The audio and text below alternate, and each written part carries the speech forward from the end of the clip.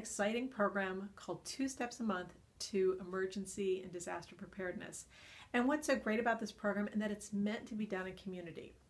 Now, many of us, if asked, are we prepared for a, a personal emergency or a larger scale disaster? Chances are we're going to say maybe a little bit or not at all. And so what's really great about this program is that it's meant to be done in community, however you define that, whether it's your block or whether it's um, a book group or a religious organization you belong to or your school.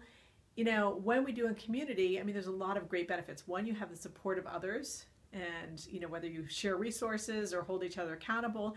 And, you know, when after several months, when, when you finish this program, you know that the people you care about also are a little bit more prepared for a possible disaster or emergency.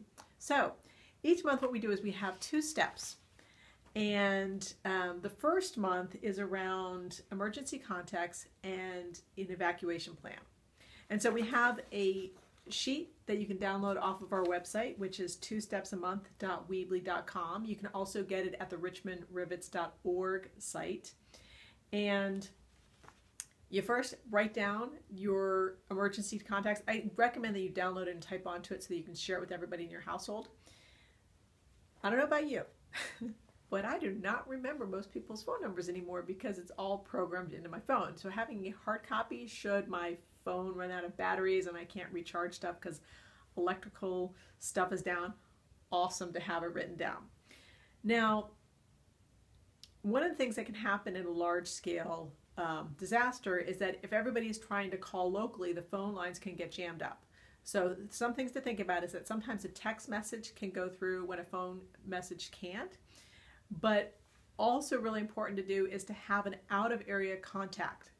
So what that person is is someone who's not going to be impacted by the disaster. So for example, me, I might have my parents who live in um, Maryland serve as my, our contact person so that you know they can help coordinate and connect all the points about you know is everybody okay and where are we and all that stuff and how do we kind of reunite so awesome to get this done because i'm sure you feel like me that after just like the initial shock of a disaster, the next thing we all want to know is like, are the people that we love, are they okay? And how do we get back in touch with them? So having this emergency contact piece is really, really helpful.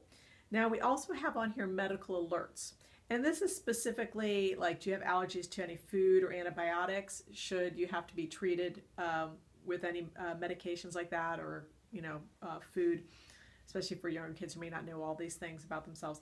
And then also medical conditions. So if someone was a first responder and came across someone, it might be helpful to know if they're diabetic or not. Now, the other piece is around the second step is your family evacuation and reunion plan. So once again, this could be for just an emergency such as a fire, so it's something more local to you and your family which is like, okay, who's responsible for getting the children or the pets or checking on uh, someone who's got special needs or an elderly person and where are you going to meet? You know, so we're meeting in the front or we're meeting in the back. Like, how, how are we going to navigate that?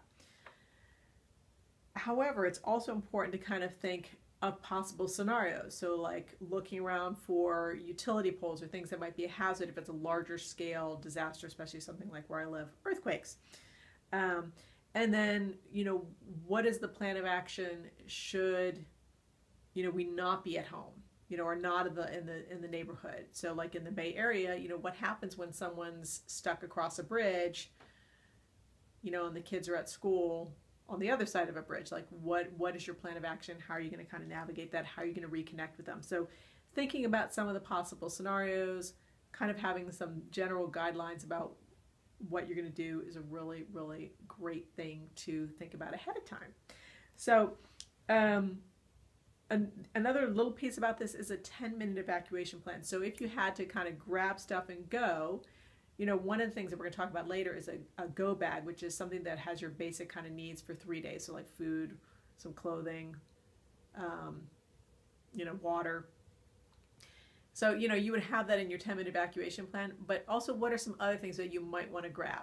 So, a couple months ago, we had a gas leak in the area and we had a 10 minute evacuation. I got an alert on my phone saying, you know, evacuate. And so having a list of what are the things that I find most valuable that if I weren't able to come back to my house, I would want to take. And that's really personal to you. And so thinking about ahead of time whether it's something of sentimental value, something whether it's something of monetary value, whether it's records that are really important to you. Um, you know, like insurance and stuff like that. So just having pre-thought that out and having a hard copy really really awesome so besides this sheet what we have each month is we have these kind of do now steps so one of the things that i'm going to ask you to do now is get shoes and a flashlight and put them under your bed you know or if you don't have a bed that's got a space underneath maybe in a bag right next to your bed because in earthquake country if there's an earthquake in the middle of the night one of the main injuries is people getting out and stepping on broken glass. But if you've got shoes that you can step on, that you can walk, that are sturdy, you've got a flashlight, you know, because the power is most likely going to be out. Um, that really prevents you from being someone who's able to help to being someone who's going to need help because you've got now cut feet. So everybody in your household should have shoes and a flashlight and preferably some leather gloves should there be broken glass and all under your bed or right near it in a little bag or something. And then we also have a tip of the month each month. And so the tip for month one is always keep your gas tank at least half full. So the kind of new motto is half is the new empty. So you start seeing that gauge kind of going down and you're like, whoa, whoa, time to refill it.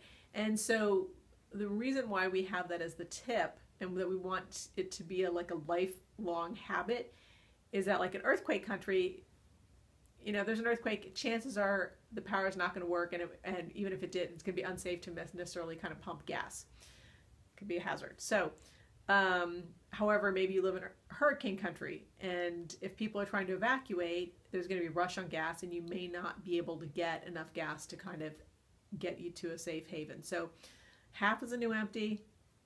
get that into, tell your friends, get it into your like lifelong habit skill toolbox. And um, once again, this is really meant to be done in community. Um, I'm a middle school teacher. Hi, kids. And um, so we do this at our school. Like, why teach kids about severe weather in geological events such as earthquakes and not really give them the tools in which to be prepared and respond? So, um, talk with your, you know, your neighbors, talk with your friends. You know, if you know people that are teachers, you know, let's do this in community, and uh, we can be be more prepared. And together, we can do it. Two Steps a Month is a project of the Richmond Rivets, a transition town initiative located in Richmond, California, dedicated to helping our community live more locally and resiliently. We also sponsor a seed lending library located in the Richmond Public Library, where community members can come and borrow seeds for free. We provide free education on seed saving so that they can return some of next generation seeds for other people to borrow. This is going to create locally adapted varieties and a community of abundance and sharing. Don't worry if you don't live in Richmond, California. You can go to our Create a Seed Library page and create your own library in your own community. Join the movement.